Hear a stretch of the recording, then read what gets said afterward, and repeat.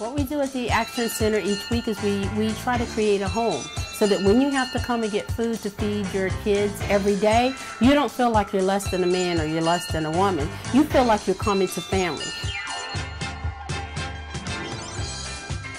Because everybody that's out here are people who have the same needs, same, same desires for their family as you do. And what people will say, and they'll tell you, is they look forward to coming here. You set another plate on the table. You put a chair down so you can sit down and you can relax. So you can have fun among people who love you. And so we you on your way strengthened, not just physically with the food, but emotionally with the love that we all share here. The Action Center is an educational and empowering station. It gets our young people off the street. It gives hope to the young adults. We have different programs. We have a Zumba class on Saturdays. We have a cooking class on Saturdays. It's impacted my life by uh, giving me the tools and the knowledge to actually want to learn and grow more within myself. This place is amazing. Anyone can come to be safe. Having people to rely on, that rely on you, that you can rely on them. The Action Center is uh, family. Alright. Um, my name is Lamine and I'm, I live in Far Rockaway. Um, I'm currently a freshman in Beach Channel High School and I like to come and volunteer at the Action Center because I like to work with people and to make my community a better place. For so long, poverty and the way the poor are treated has been an invisible problem. It's invisible as long as there's no light shown on it. And prior to Sandy, there really wasn't a lot of light shown on it here. Sandy brought this community together. This community was a little broken, but through Sandy, people found their strength, they found their hope.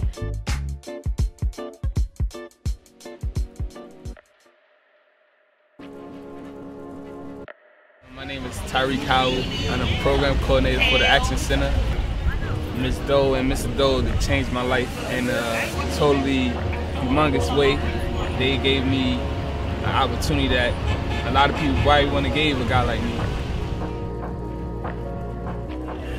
The community center is my home.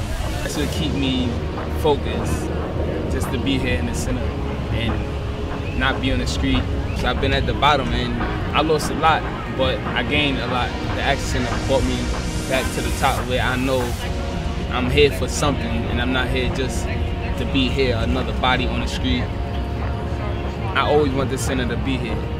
I don't see the Action Center as being anything else but life because I don't know where I'll be without it. Because you're really a good little girl. Understand? And you keep being who you are. You understand? My name is Stephanie. I am an employee of the Action Center. My story started during Sandy. I lost my potential employment during Sandy. I was overwhelmed.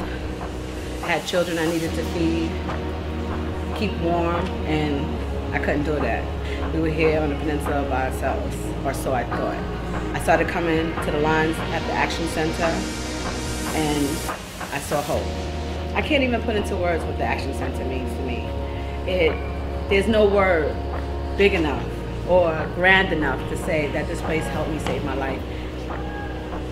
No matter how much I tell the story, still overwhelms me. It was like a heavy, heavy blanket thrown over me. I couldn't see the light. I couldn't lift the weight off. And I felt overwhelmed. I don't know where I would be if the Action Center didn't see me what I could not fathom.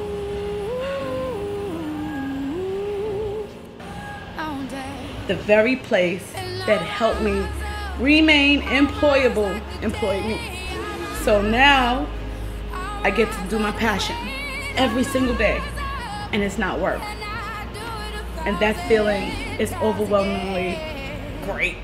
Every day that I come here, I come not just because it's my job, I come here because I know the greatness it did for me, and I want to be a part of that greatness to somebody else.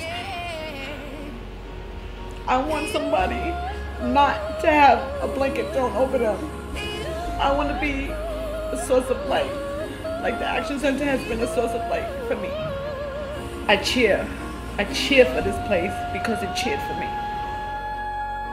You can see someone who was broken, who had lost their voice, who didn't know who they were and where to turn. When you can see that person go from being born to crawling to standing to walking to running and then turning around full circle and coming back and helping other people to crawl, to stand, to walk, to run. But we're also powerful.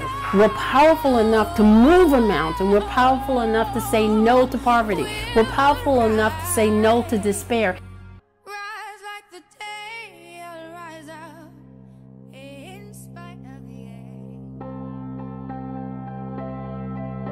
The potential to change the world is in us all. You know, we're really, we're one body working together. You walk out with a place that has given you hope. We are blessed.